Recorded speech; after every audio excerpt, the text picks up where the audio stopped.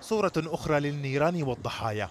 تضاف إلى صور من المعاناة والإهمال في مشهد يشتعل غضبا.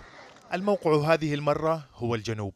الحدث كارثة أو قل إن شئت فاجعة إنسانية. والفواجع تمتد من الأسباب إلى المآلات. انفجار صهريج للوقود في منطقة بنت بية في الجنوب. يفضي إلى وقوع وفيات وعشرات الجرحى في حصيلة مرشحة للازدياد. مرارة هذه الصور. لا تقل عن مرارة محاولات تقاسم الضحايا بين المنقسمين في الحكم والسلطة. بعد إعلان الحكومة إرسال ثلاثة طائرات لنقل المصابين من سبها إلى طرابلس لتلقي العلاج. نتائج الرحلة أبت إلا وأن تمتزج بالسياسة.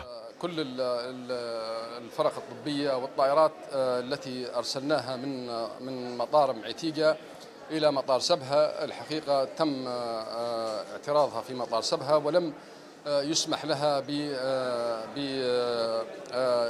بعملها لمساعدة المصابين في هذا الموضوع. المنع هنا جاء ممن يسيطر على مناطق الجنوب. لما بدا وأنه سباق لغاية لا تبدو مجهولة. رغبة الحكومة المكلفة من البرلمان بنسب فضل نقل الجرحى للعلاج في بنغازي لإجراءات اتخذتها. قابله تأكيد من إدارة التوجيه المعنوي لما يعرف بالقوات المسلحة أن عملية النقل تمت بأوامر من خليفة حفتر.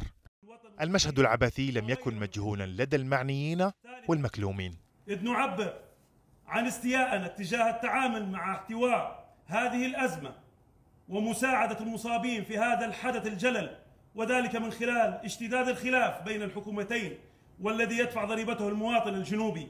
تحدث عميد بلدية بنت بية عن تهميش الجنوب وخروجه من حسابات الحكومات القائمة والمتعاقبة وحمل الجهات الأمنية وشركات الوقود مسؤولية الحادثة. أهالي وادي عتبة طالبوا بالاهتمام بالمصابين واعتبروا أن سبب الكارثة هو نقص الوقود ولجوء السكان إلى السوق السوداء التي تتحكم بهم. مكونات الوادي الأبيض أشاروا إلى ما اعتبروه السبب الوحيد والرئيسي. وما حدث اليوم وما هو إلا نتيجة المعاناة والاحتياج الشديد للوقود منذ سنوات عديدة رغم الإلحاح والمطالبة لجهات الاختصاص.